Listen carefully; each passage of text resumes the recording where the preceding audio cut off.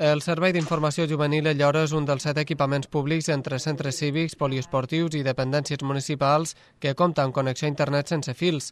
Per accedir-hi cal el certificat electrònic IDCAT o un lector electrònic del DNI.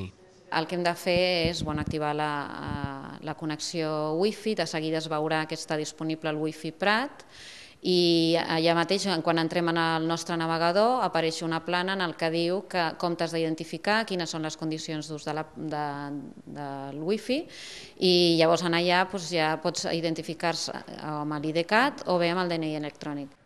Un cop s'ha configurat l'ordinador per captar la xarxa Wi-Fi municipal, el certificat mateix ja guia amb els passos que cal seguir per obrir la sessió amb un nom d'accés i una clau.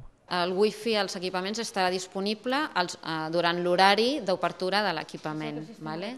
Eh, I el que hem fet en un principi, perquè estem obligats a regular una mica, eh, és que hi ha un accés eh, permès durant dues hores. Als, a les dues hores el sistema t'avisa i et fa fora, no? però dintre, durant el mes no hi ha un tope, o sigui, pots connectar-te cada dia si vols.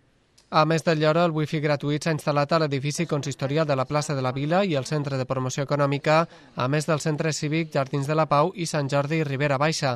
També s'ha portat als complexos esportius municipals del Sagnier i l'Estruc.